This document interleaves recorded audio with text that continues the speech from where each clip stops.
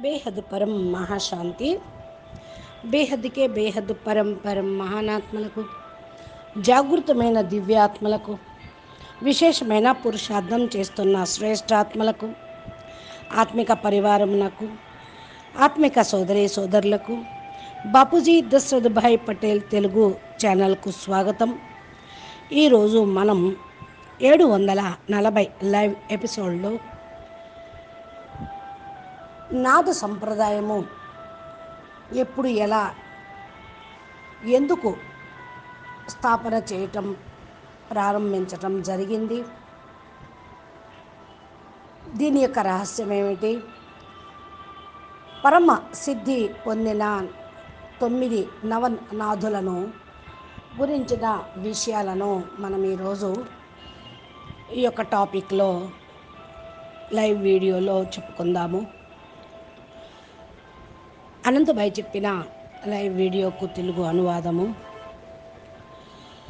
టాపిక్లోకి వెళ్ళే ముందు ఫస్ట్ ఆధ్యాత్మిక సూక్తులు కోడ్స్.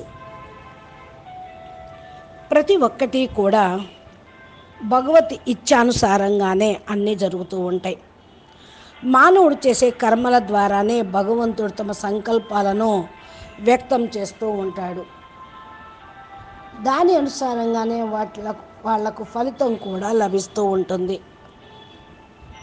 కావున మానవుడు కర్మలను ఆచరించి తీరాల్సిందే. ఎందుకు అంటే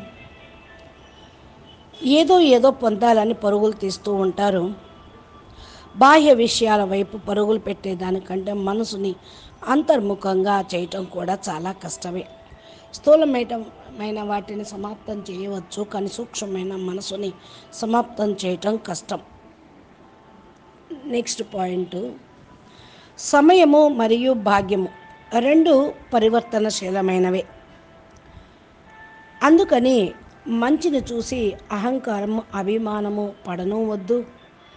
కష్టాలకు చింతించకుండా రెండిటిని సమానంగా చూస్తూ రెండు ఎప్పటికైనా మారేవే అని గుర్తుంచుకోండి. అందుకనే గీతలో కూడా చెప్తారు నిందాస్తుతి మానవమానాల్లో సమానంగా ఉండేటువంటి స్థితినే స్థిత ప్రజ్ఞ స్టేజ్ అన్నారు. ఇది హద్దు ఉంది బేహద్దు కూడా ఉండనే ఉంటుంది. నెక్స్ట్ పాయింట్ చూడండి ఎవరైనా సరే తప్పులు ఎంచుతూ ఉంటూ ఉంటారు.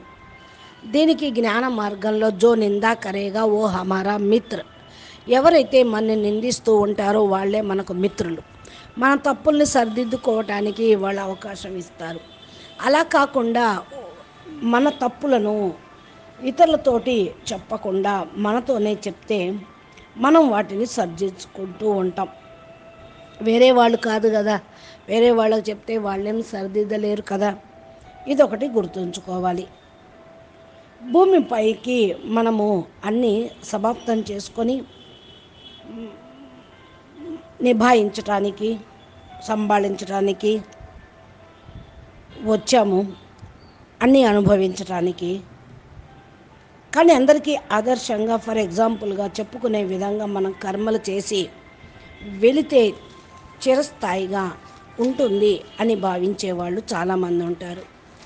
మనం ఈ భూమి మీదకి వచ్చాము విశ్వ కళ్యాణం విశ్వ పరివర్తన చేయటానికి అవతార మూర్తులమై అందుకే బాపూజీ అంటూ ఉంటారు.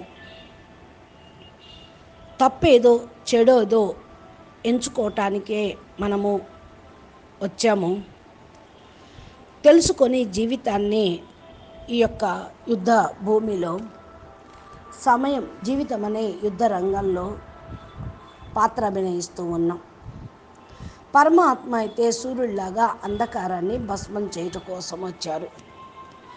నెక్స్ట్ పాయింట్ మనం శరీరం కాదు మనసు కాదు దివ్య ఆత్మనం పరంపరం పరంపరం లైట్ స్వరూపమైన ఆత్మనం అనేటువంటి జ్ఞానం మనలోని సకారాత్మక భావాలను సమాప్తం చేస్తూ ఉంటుంది. నెక్స్ట్ పాయింట్ ఒకే ఒక రోజు బతికే పువ్వు తల ఊపుతూ విరబూసి నవ్వుతూ ఉంటే నూరేళ్ళ బతికే మనము చిరునవ్వుతో బతకలేమా? అందుకే నవ్వుతూ బతకాలిరా నవ్వుతూ చావాలిరా అని చెప్తూ ఉంటూ ఉంటారు. అలాగే నవ్వుతూ నవ్విస్తూ బతికేద్దాం. Next point. చరిత్ర ఏం చెప్తుంది అంటే రేపు సుఖం. అనేది లభిస్తుంది అని. ఇతిహాస చరిత్ర కూడా అదే అంటుంది. సైన్స్ కూడా అదే చెప్తుంది రేపు రాబోయే ప్రపంచం సుఖం ప్రపంచంగా ఉంటుంది అని. కానీ ధర్మం ఏమంటుంది? మీరు మీ మనసుని గనక కంట్రోల్లో ఉంచుకుంటే రేపు రాబోయేటువంటి ప్రతి సెకండు ప్రతిరోజు సుఖమైన జీవితాన్ని మీరు గడపగలుగుతూ ఉంటారు. జీవితంలో ఎలాంటి మార్పులు మలుపులు వచ్చినా ధైర్యాన్ని కోల్పోరాదు. ఎందుకంటే మీ ధైర్యమే నిన్ను ప్రతి ఒక్క కష్టం నుండి బయటికి పడేస్తూ ఉంటుంది. కాబట్టి ఈ యొక్క పరమ సత్యాన్ని ఆధ్యాత్మిక సత్యాన్ని తెలుసుకొని పురుషార్థం చేస్తూ మనం ముందుకు వెళ్ళాలి. ఇక ఈరోజు మనం టాపిక్లోకి వెళ్తే నాథ సంప్రదాయం యొక్క యోగులు ఆ సంప్రదాయం యొక్క విధి విధానము ఎవరు? దానిలో యోగులుగా ఉంటారు. ఏంటిది? తొమ్మిది మంది సిద్ధులు కూడా ఉన్నారు. నిదానంగా ఒక దాని గురించి ఒకటి తెలుసుకుందాము. అసలు నాద సంప్రదాయం యొక్క రహస్యం పరమసిద్ధి అంటే ఎవరైతే చెవులు కుట్టించుకొని బాగా పెద్ద పెద్ద రంధ్రాలతోటి ఉంటారో కుట్టనిటువంటి వస్త్రాలు ధరిస్తూ ఉంటారు. వాళ్ళని నాద సంప్రదాయకులుగా చెప్తారు. వాళ్ళు ప్రముఖ యోగి ఆదిత్యనాథ్ యూపీ సీఎం కూడా ఈ కోవకు చెందినవాడు అని చెప్తారు. తంత మంత్ర మరియు యోగి క్రియలో మానవునికి ఎప్పుడైతే విశ్వాసం తక్కువైపోయిందో తాంత్రికులు వాళ్ళ కార్యకలాపాలతో బదనాం చేస్తూ ఉన్న సమయంలో నాద సంప్రదాయం అనేది పుట్టుకొచ్చింది. నాద సంప్రదాయం ప్రాచీ భారతదేశం యొక్క ప్రాచీన మరియు యోగుల యొక్క సంప్రదాయమే. ఇది హఠయోగం పైన ఆధారపడి ఉంటుంది. ఈ సంప్రదాయం యొక్క యోగులు చనిపోతే దాన సంస్కారాలు చేయరు. దీక్ష తీసుకున్న మొదలుకొని వీరు తమ చెవులు కుట్టించుకోవటానికి కొంత సమయం వరకు తాంత్రిక వజ్రయాన్ సాత్విక రూపంగా వీళ్ళు ఉంటూ ఉంటారు. వీళ్ళు మాంసము తాగటం తినటం అనేది చేయరు. ఈ యొక్క తాంత్రికంలో సాత్విక రూపంనే దీన్ని స్వీకరిస్తూ ఉంటూ ఉంటారు. ఈ సంప్రదాయంలో కూడా అవధూతలు ఉంటారు. ఇది ప్రారంభంలో ఆదినాథ్ శంకరుణ్ణి అంగీకరిస్తూ ఉండేవాళ్ళు. ఆయన యొక్క స్వరూపమే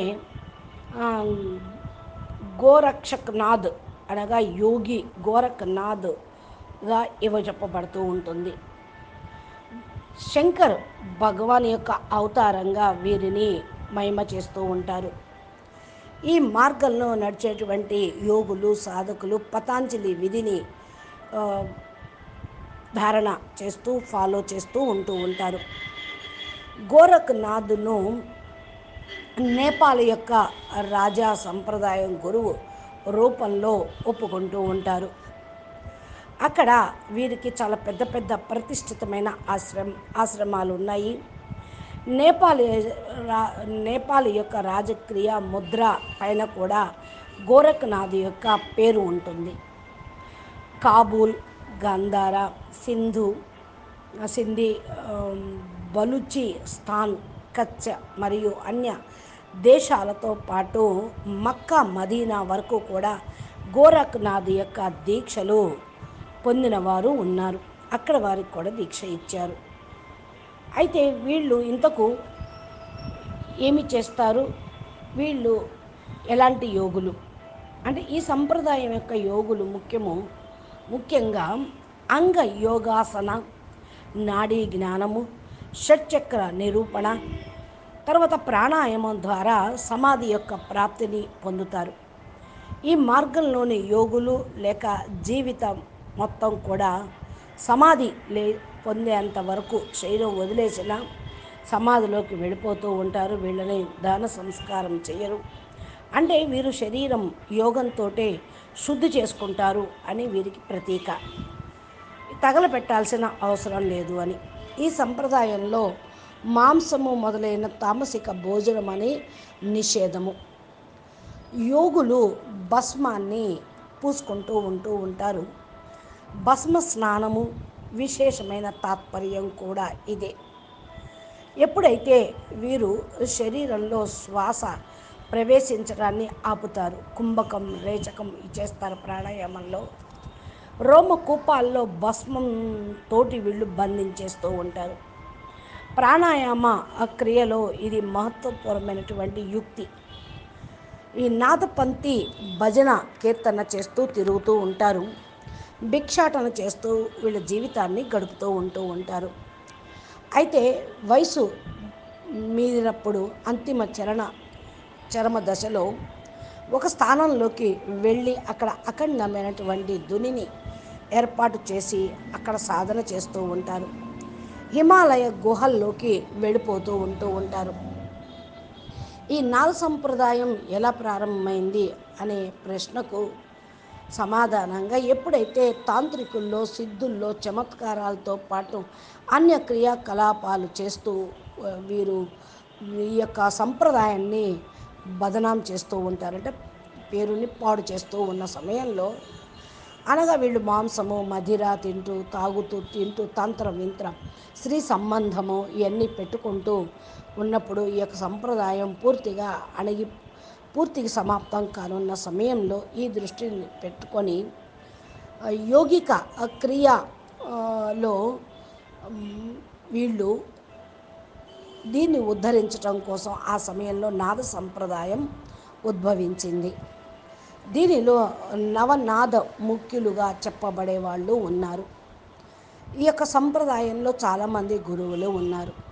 ఇందుకు వీళ్ళు ఏం చేస్తూ ఉంటారు అంటే యోగులు తమ మెళ్ళో నల్లటి ఉన్నితో చేసినటువంటి ఒక జంజాన్ని వేసుకుంటారు. దీనితోటే అంటే కొట్టలేనటువంటి ఒక సింగ్ని ఒక కొమ్ముని వీళ్ళు పెట్టుకుంటూ ఉంటారు. సింగ్కి నాది అంటూ ఉంటారు.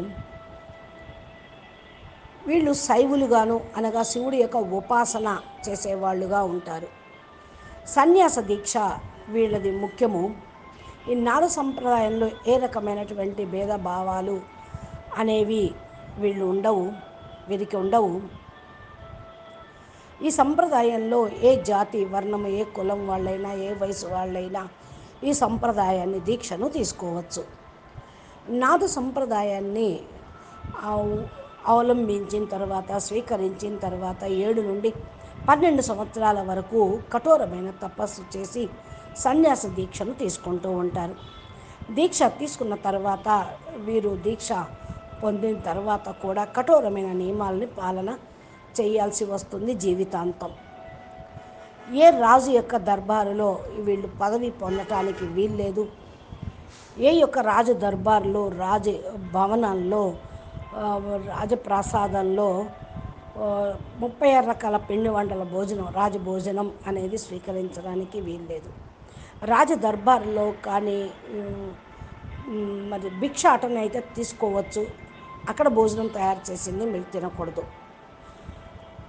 ఈ వీళ్ళ వస్త్రాలు కూడా మిషన్ తోటి కుట్టినవి కాకుండా అట్లాగే చుట్టుకుంటూ ఉంటారు ఈ వస్త్రాలని. కాబట్టి ఇక్కడ నాద శబ్దము ఏంటంటే శివుడికి గుర్తు నాద సంప్రదాయం ప్రథమ గురువు ఆరాధ్యుడు. ఈ సంప్రదాయ అన్నిటికంటే అతి పురాతనమైనది. గా చెప్పబడింది. దీని యొక్క అనుయాయులు అప్పుడప్పుడు సగం అర్ధ నగ్నంగా కూడా ఉంటూ ఉంటారు. గోచి పెట్టుకుంటూ ఉంటూ ఉంటారు. ఒక్కోసారి సగ అస్త్ర సగం వస్త్రమే ధరిస్తూ ఉంటారు. వీళ్ళ చేతులకి ఆ శరీరంలోకి బూడిదని రాసుకుంటూ ఉంటారు. ఈ నాద శబ్దము అనేది అతి ప్రాచీనమైనది.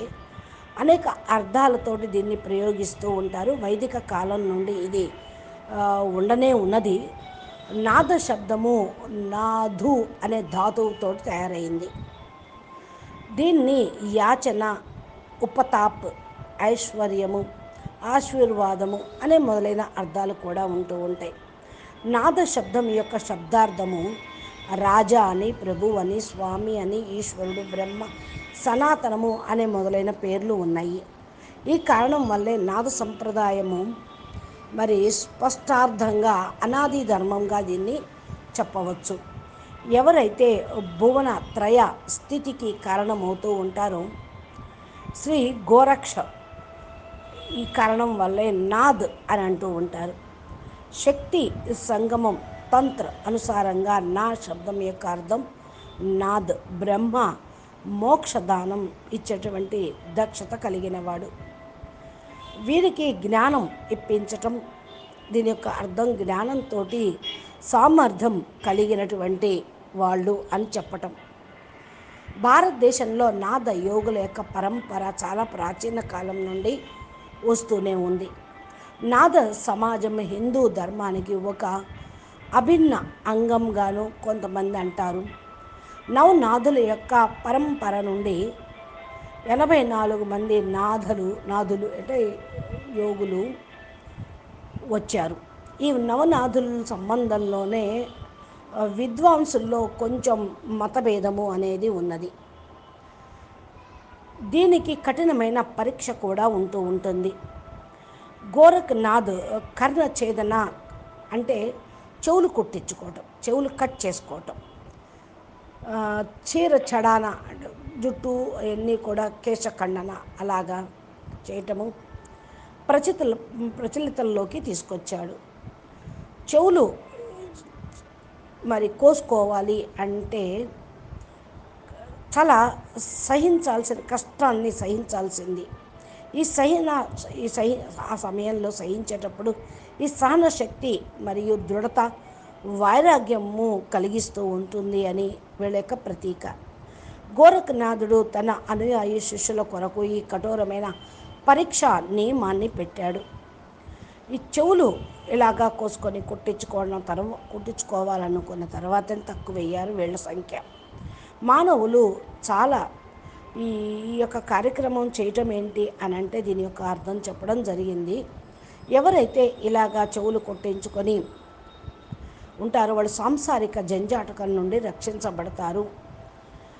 చిరకాలం వరకు వీరికి పరీక్ష తర్వాత కూడా ఈ యొక్క కార్యక్రమం చేయటం జరుగుతుంది. ఇప్పుడైతే ప్రస్తుతం అలాగే అవుతూ ఉంది. అంటే అసలు అవధూత యొక్క అర్థం ఏమిటి అంటే నాద సంప్రదాయంలో అవధూత సంప్రదాయం ఉన్నది. దీని యొక్క అర్థం ఏమిటి అంటే శ్రీ రహితంగా అనగా మాయా ప్రపంచం నుండి దూరంగా రహితంగా ఉండటం. దీన్నే అంటూ ఉంటారు అవధూతలు అని. ఈ విధమైనటువంటి వాళ్ళు ప్రకృతి జన్య వికారాలను త్యాగం చేయటం జరుగుతుంది. ఇంకా అలక్ మరియు ఆదేశ్ అనే శబ్దాన్ని వీళ్ళు ఎక్కువగా ఉపయోగిస్తూ ఉంటారు. అనుకని గోరఖనాథ్ అలక్ నిరంజన్ అంటూ ఉంటారు. ఈ యొక్క అలక్ అనే శబ్దం వాళ్ళ ఇష్ట దేవుడైన ధ్యానం చేయటము వారి యొక్క ఆదేశము లేక అదీషా శబ్దము అభివాదనగా చెప్పబడుతూ ఉంటుంది. అలక్ ఆదేశ్ అనే శబ్ద అర్థము నమస్కారం పెట్టి మరి పరం పురుషుడైనటువంటి పరమాత్మకు మరి సమర్పణ భావంతో కలిగి ఉండటం. ఈ విధంగా ఉపనిషత్తుల్లో కూడా దీని యొక్క అర్థాలని చెప్పడం జరిగింది. ఇకపోతే ప్రాచీన గ్రంథాల్లో లభించినది ఈ సంప్రదాయము విభిన్న క్షేత్రాల గ్రంథాల్లో కూడా హఠయోగము తంత్ర విద్య ఆయుర్వేదము రసాయనిక చికిత్స సిద్ధ చికిత్స బౌద్ధ అధ్యయనము ఇలాగా అన్నీ లభించాయి. యోగిక గ్రంథాల్లో నాదసిద్ధ్ హఠ ప్రదీపక అనే లేఖ రైటర్ తోటి స్వాత్మారాం మరియు ఈ గ్రంథాన్ని ప్రథమ టీకా తాత్పర్యం చేసి బ్రహ్మానందం తోటి హఠ ప్రదీపిక ప్రయోజనాన్ని కలిగి ఉన్నాడు. ఈ ప్రథమ ఉపదేశంలో ఐదు నుండి తొమ్మిది వరకు శ్లోకాలు ముప్పై మూడు సిద్ధ నాదుల యొక్క యోగుల యొక్క చర్చ దీని గురించిన వర్ణన ఉన్నది. ఈ నాదసిద్ధ కాలంజీ బ్రహ్మాండంతో కనెక్షను విచరణ చేస్తూ ఉంటారు అని. ఈ నాద యోగుల యొక్క ప్రథమ నాదం ఆది నాద్ అనగా పరమాత్మ శివుడు స్వయం శివుడు ఈ హఠయోగ విద్యను ప్రధాన ప్రసాదించాడు అని. ఏదైతే రాజయోగము అని చెప్తూ ఉంటూ ఉంటారో దీనికి రా- దీని యొక్క ప్రారంధం పొందడానికి ప్రథమ మెట్టుగా దీన్ని చెప్తూ ఉన్నారు. ఆయుర్వేద గ్రంథాల్లో నాద సిద్ధులు అనేటువంటి చర్చ ఉంది. రసాయనిక చికిత్స ఉత్పత్తి చేసేటువంటి రూపంలో వీళ్ళు ఎక్కువగా ఉన్నారు. వీరు ఈ శరీరం అనే సాధనను మోక్షంలో తీసుకొని వెళ్ళాలి అంటే దీన్ని మాధ్యమగా ఉపయోగించుకున్నప్పుడు ఈ శరీరాన్ని రసాయన చికిత్స పారద్ ద్వారా అబ్రక మొదలైన రసాయనికాల ద్వారా దీని శరీరాన్ని కాపాడుతూ చనిపోయిన శరీరాల్ని ఉంచుకుంటారు అని చెప్పటం. తాంత్రికతో పాటు నాద సంప్రదాయకులు కొంత సంబంధము అనేది ఉన్నది. శాబర తంత్రంలో కపాలికులు పన్నెండు ఆచార్యులు పన్నెండు మంది ఆచార్యుల యొక్క చర్చ ఉంది. ఆది నాద్ అనాది కాల్ వీరనాథ్ మహాకాల్ ఆది. ఈ ఈ మొదలైన వాళ్ళందరూ ఈ మార్గంలో ప్రథమ ఆచార్యులుగా చెప్పబడుతూ ఉంటారు. నాథుల్లోనే తంత్ర గ్రంథాల్లో వీరి యొక్క రచన గురి వీరి గురించి ఉన్నది.